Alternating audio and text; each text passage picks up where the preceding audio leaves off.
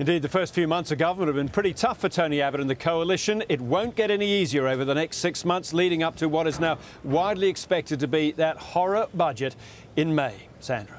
Thank you, Hugh Jack. Hugh Jackman, I'm sorry, that's our next story. Hugh Riminton reporting there from Canberra. I'll take it. Yeah, me too, if I could.